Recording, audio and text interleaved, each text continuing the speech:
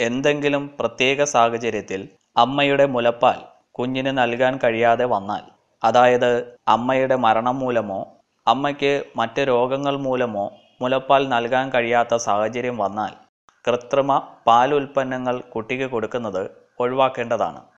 ഇത് കുഞ്ഞിന്റെ ആരോഗ്യത്തെ പ്രതികൂലമായി ബാധിക്കാം.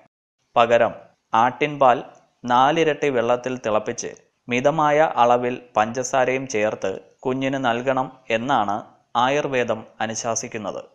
പാൽക്കുപ്പി ഉപയോഗിച്ച് നൽകുന്നതിന് പകരം ഗോകർണം പോലുള്ള സ്പൂണുകൾ ഉപയോഗിച്ച് നൽകുന്നതാണ് നല്ലത്. ആട്ടിൻപാൽ യാതൊരുവിധ പ്രശ്നങ്ങളും കുട്ടിയിൽ ഉണ്ടാക്കുന്നില്ല. ആട്ടിൻപാൽ ഇല്ലെങ്കിൽ പശുവിൻ പാൽ ഇപ്രകാരം നൽകാവുന്നതാണ്. കുട്ടിയുടെ ദഹനത്തിനനുസരിച്ച് പാൽ നേർപ്പിക്കുന്നത് കുറയ്ക്കാം. ചില സ്ത്രീകളിൽ ആവശ്യത്തിന് മുലപ്പാൽ ഉൽപ്പാദിപ്പിക്കാതെ വരുന്ന സാഹചര്യം ഉണ്ടാകാറുണ്ട്. ഇതും കുഞ്ഞിന് വേണ്ടത്ര അളവിൽ മുലപ്പാൽ ലഭ്യമാക്കുന്നതിന് തടസ്സമാകാറുണ്ട്.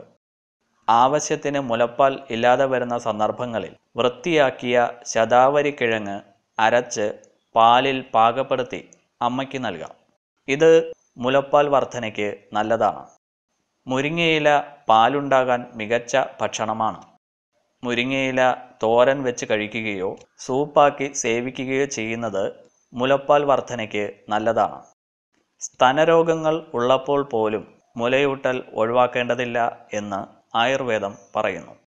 മുലക്കണ്ണിന് വെടിപ്പ് ഉണ്ടായാൽ ലേപനങ്ങൾ പുരട്ടുന്നത് ഒഴിവാക്കി പകരം മുലയൂട്ടലിന്റെ അവസാനം മുലപ്പാൽ തന്നെ പുരട്ടിയാൽ മതിയാകും.